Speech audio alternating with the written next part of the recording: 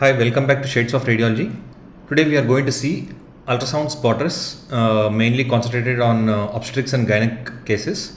Uh, don't miss this uh, excellent spotters, which are very classic, and we regularly encounter this in our daily practice. So let us move on to the first case. Case one.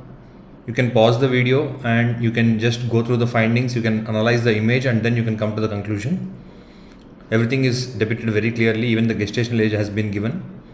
So what is your diagnosis? It's an inevitable abortion. And there are various, various types of abortion that is threatened inevitable complete incomplete and missed abortion. And each one has its own findings. And in our case you can see the gestational sac is elongated slightly lower in the endometrial cavity and even the cervical os is open partly. And there is no cardiac activity which is suggestive of inevitable abortion Coming to case 2, again fetal, lower abdomen or uh, pelvis of the fetus. You can see a large abdominopelvic cyst and on color Doppler you can see two umbilical vessels on either side. So it is a dilated urinary bladder. This is a case of megacystis. So when will you label it as megacystis? If the, the longitudinal dimension that is you can see here the urinary bladder is dilated and the longitudinal dimension if it is more than 7 mm we call it as megacystis in the first trimester. And coming into the second trimester if it is more than 30 mm we call it as megacystis and the important point which we have to remember in the first trimester is up to 15 mm the megacystis might resolve into the second trimester. But if this dilatation of urinary bladder or the megacystis persists in the second trimester or if it is more than 15 mm in the first trimester it's highly associated with obstructive uropathy and also sometimes with the chromosomal and renal anomalies. So careful evaluation and follow up of this megacystis is very much essential for the diagnosis and conclusion of megacystis coming to case 3 a classic case 30 year old female with lower anterior abdominal wall pain so you can see the classic lesion and very common finding that is a scar endometriosis. You can see well defined hypoechoic lesion with few hyperechoic areas and the borders are sometimes at places it may not be well defined. You can see it's in the midline as well and this is a classic case of scar endometriosis and the patient will have a cyclical abdominal pain and these many patients with scar endometriosis do not have classical signs previously means they're not they might not have endometriosis all the time and which supports the theory that the dissemination of endometrial glands or cells into the wound at the time of surgery might have happened. This is the cause for scar endometriosis. Coming to the case 4, again a classic fetal case at the level of chest, at the level of cardia, you can see the cardia very clearly and what you are seeing here is a uniform echogenic lesion in the left lung, entire lung, you can see the mediastinum is shifted towards right side and also vascularity showing the vessel which is going into the echogenic lung. So this is a case of congenital pulmonary adenomatoid malformation. The term CCAM has been now uh, not used very commonly because of various uh, uh, pathophysiology happening over there. So this is a case of CPAM. You can see an echogenic left lung almost entire hemithorax you can see the sagittal plane its entire left lung is completely echogenic and there is a mediastinal shift towards right side and Doppler you can see the vessel is arising from the left pulmonary artery but not from the systemic vessels which again is uh, very helpful to differentiate from the sequestration. So this is a, a case of microcystic CPAM.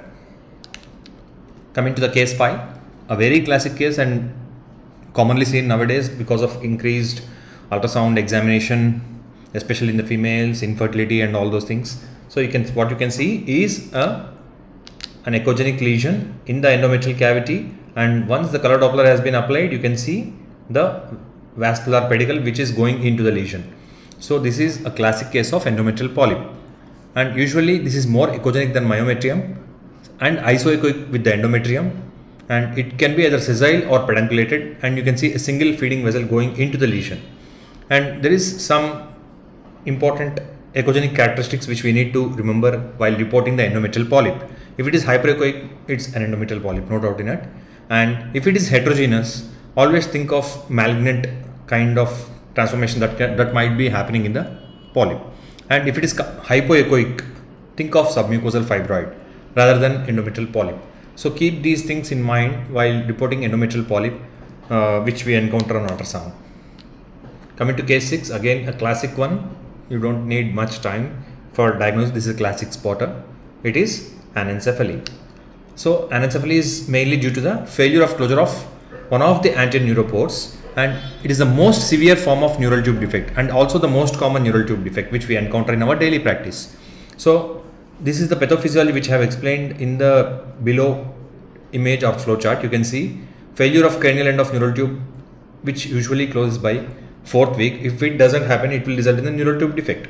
And when there is an abnormal development of calvarium, we call it as acrania. And the protrusion of brain, which is well formed into the cranium, from the cranium into the gestation, or what do you say, the amniotic cavity, it is called as exencephaly.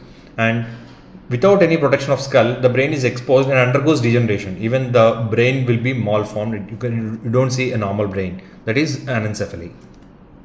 Coming to the next case, you can see the gestational age is 14 weeks. This is a uterus showing an echogenic lesion with multiple hypo to anechoic areas which are very well defined and round. So this is a case of molar pregnancy. So always go through about this gestational trophoblastic disease correlation with beta HCG and once it is confirmed, once we start the treatment, always correlate with beta HCG. When should we consider whether it is a progressive or whether it is going for a choriocarcinoma or not and all those things. So carefully read about this molar pregnancy, how it has to be evaluated, how it has to be followed up with the beta HCG levels. Coming to the next case. Right ovary. What you can see here. You can see a clear fluid-like structure around the right ovary. A classic diagnosis, it is peritoneal inclusion cyst. Usually this peritoneal inclusion cyst is a small localized collection. Uh, it can have a very large, it can go into large cystic lesion sometimes, which occupies the interpelvis. Uh, and there is no any discrete limiting wall in this peritoneal inclusion cyst. You can see like uh, it's like insulating between the structures whatever is present in the pelvis and there will be no mural nodularity in this peritoneal inclusion cyst.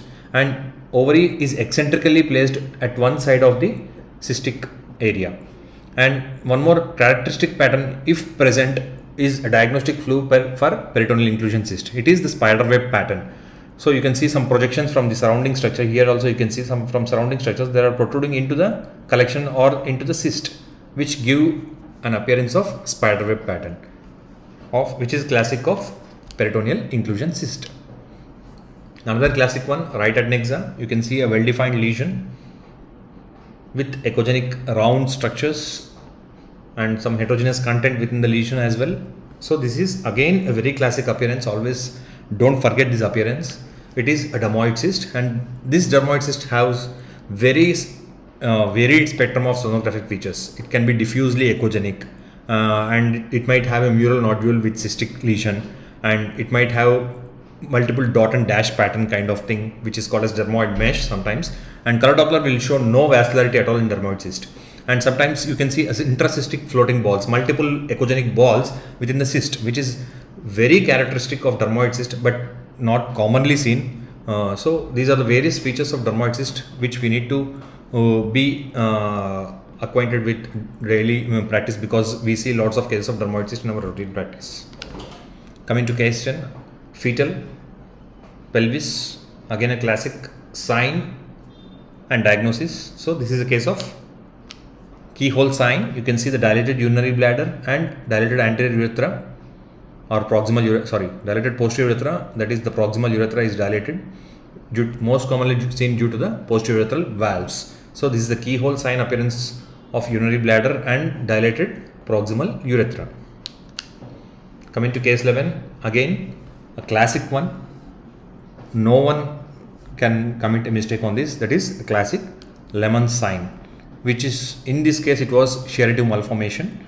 Always uh, try to evaluate the associated features along with the deformed skull. So if you see there is some smooth concave concavity towards this side outside it is concavity and here it is convexity so always careful evaluation is very much important that concavity must happen to call it as a lemon sign. Sometimes there might be a smooth uh, straightening of the border of the skull. Sometimes we cannot call it as lemon sign. You should see some indentation which is going along the bone. Then we should call it as a lemon sign. And 10% of the uh, fetuses it can be normal and gradually can resolve over a period of time. Another classic one this is the 3d ultrasonography of pelvis. You can see an echogenic uh, endometrium and uterus the shape is very characteristic it is a unicornuate uterus uh, kindly go and read about the ESHRE classification uh, of uh, Mullerian anomalies. So this is a unicornuate uterus. It can be of various types which has been shown here. That is the communicating horn, non-communicating horn, no cavity or no horn. So there will be only one horn you can see here. There will be no associated horn here. So this is a unicornuate uterus. So this is the classification of or subtypes of unicornuate uterus. Coming to case 13, again a 3D uh, grayscale kind of picture and there is no fundal cleft in this case. So what you can see the endometrial cavity is being divided into or splitting of endometrial cavity has happened with smooth fundal cleft. There is no fundal cleft in this case. So this is a case of partial septate uterus. Suppose in case this is extending down till this level we call it as complete septate uterus. So our case is a case of partial septate uterus and this is one important table which you need to keep that in mind that is the septate uterus and bicornuate uterus which is very essential to differentiate you can shoot you need to look for the fundal contour you need to assess the fundal depth how much depth or fundal indentation has been happened from the fundal surface as well as the endometrial cavity uh, and also evaluate the intercornual angle and distance for better uh, diagnostic uh, conclusion. So always read about these types of uh, septate and bicornuate uterus. You can screenshot this slide which is very important to differentiate both of them. Coming to case 14 again this is uh, pelvis USG pelvis gestational age is of 8 weeks 6 days. You can see this is the uh, left ovary left adnexal lesion. You can see the uterus the endometrial cavity and this is the color doppler you can see and some amount of echogenic fluid in the pelvis. So this is a straightforward diagnosis. Empty endometrial cavity gestational age has been given as 8 weeks 6 days. There is no gestational sac. And you can see uh, left adnexal mass which is seen on grayscale and in color doppler. You can see the flow within the adnexal mass as well. So this is a case of tubal ectopic pregnancy. Go back and read about this uh, tubal ectopic pregnancy once again. And again this is a classic case. You can see the spotter case 15 left lower limb right lower limb.